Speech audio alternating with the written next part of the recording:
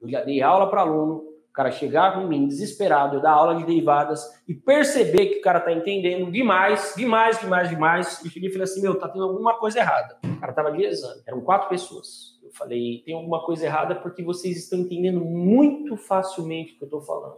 Vocês já pegaram tudo. Então, como assim vocês ficaram de exame? Não, professor, porque a minha faculdade é diferente. É mesmo? É, não, é diferente, lá é fora, lá, não sei o quê. Eu, não é porque ele Não, porque é. Tá bom. Que, pega aí uma questão da sua faculdade. Elon Musk desenvolveu um foguete. Oh, legal. O foguete viaja conforme a função tal, tal, tal. Bacana. Calcule a taxa de variação do foguete. Tá, o que a gente tem que fazer? Eu não sei. Aí, tá vendo? Completamente diferente. Se você perceber, a gente ali, no final das contas, no, no gráfico da esquerda, eu estava fazendo assim, ó, del y, del x. No lado direito é a mesma coisa, eu estou dividindo um pedacinho do y para um pedacinho do x, mas esse pedaço é muito pequeno, muito pequeno, muito próximo de zero. Por isso a gente usa desenho, desenho y, desenho, x.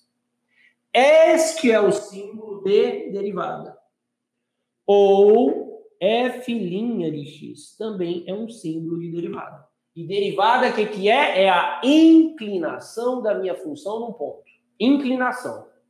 Se você ouviu falar assim, ó, calcule a inclinação da função, calcule a taxa de variação, calcule a derivada. É tudo a mesma coisa. Parece bobo, né?